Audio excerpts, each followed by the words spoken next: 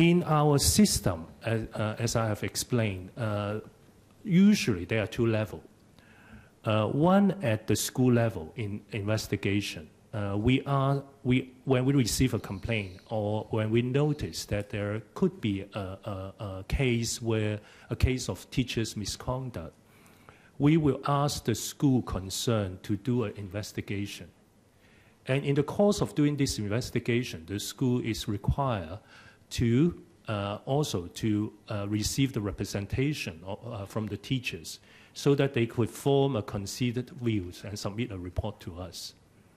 And when we receive the report, we will make a judgment based on the report uh, whether there is uh, apparently a case uh, of possible misconduct. And then we will contact, we will write to the, um, to the teachers concerned and ask them to do a representation. So in that sense, there, obviously is a, a, a, chance for the teachers to make representation before the EDB, before uh, we make the final decision.